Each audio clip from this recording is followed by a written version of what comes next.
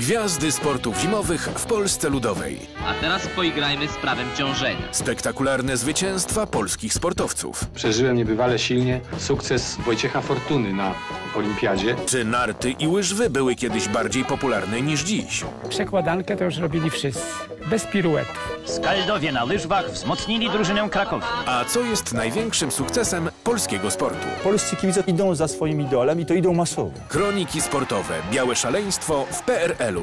Część druga. Oglądamy zwolnione zdjęcia w chwili upadku lub potknięcia. We wtorek, 11 lutego o godzinie 17.50. Chodzi nie tylko o medale, ale o to, by naród jeździł na nartach. Tylko w telewizji Kinopolska.